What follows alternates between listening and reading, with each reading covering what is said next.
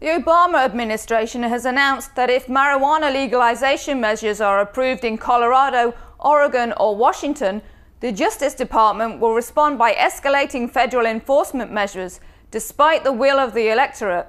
Republican challenger Mitt Romney, who treats marijuana as a so called gateway drug, takes the same position as the incumbent.